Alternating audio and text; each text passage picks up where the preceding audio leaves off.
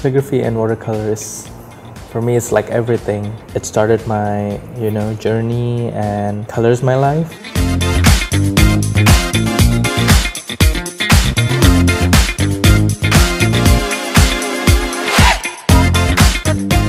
My name is Jeremy Jonathan. I'm 22 and I'm an aspiring artist and calligrapher. I like to do flower arranging uh, because I love flowers. I don't know, it just like attracts me and I love to cook a bit, but you know, I, because I love food.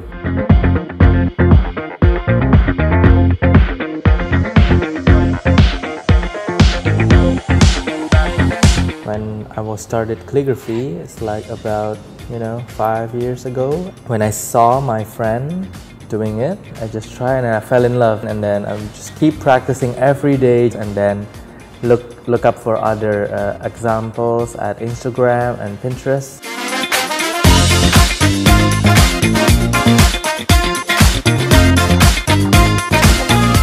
I think time is the most um, general uh, problem of my uh, my job as an artist, especially when you're uh, teaching as well. You have uh, you have limited time.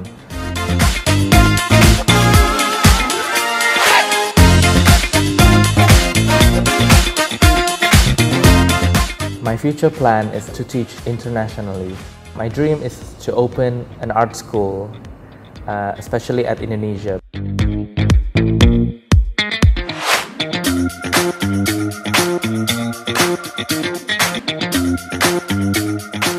What drives and motivates me the most is when I share. I feel really motivated when I'm teaching.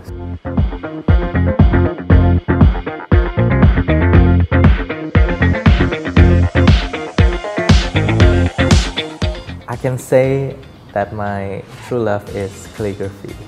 Yeah, but you know, watercolor is also great. So yeah, could be my second true love.